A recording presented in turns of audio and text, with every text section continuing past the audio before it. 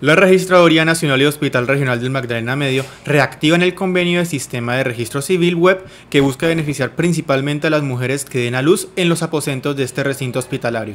Una de nuestras misiones es la identificación de los colombianos desde el momento de su nacimiento hasta su fallecimiento.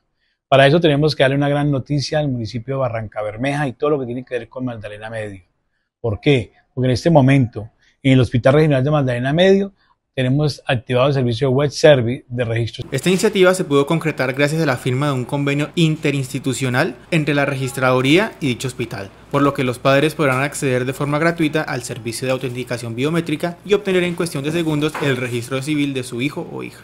Que llega una madre, da luz en el hospital y automáticamente nosotros tenemos las condiciones técnicas y humanas para hacer el registro en línea, ¿cierto?